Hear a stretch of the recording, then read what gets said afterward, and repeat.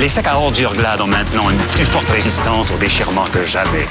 Vous pouvez donc être sûr qu'ils arrivent chaque fois en bordure du trottoir. Les sacs à ordures Glad, maintenant avec une plus forte résistance au déchirement que jamais.